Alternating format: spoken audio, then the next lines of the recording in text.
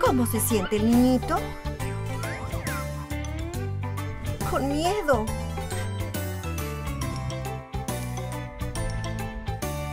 Cuando tienen pesadillas, les da miedo.